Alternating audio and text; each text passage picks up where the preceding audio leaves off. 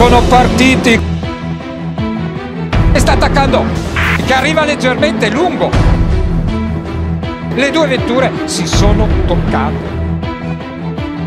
La scaramuccia. C'è intanto l'attacco. Che tenta di infilare all'esterno due piloti che conoscono la pista.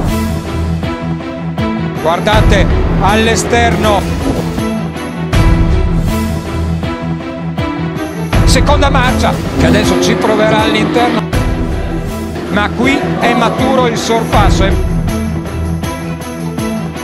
si incrociano le traiettorie ma ancora troppo lontano.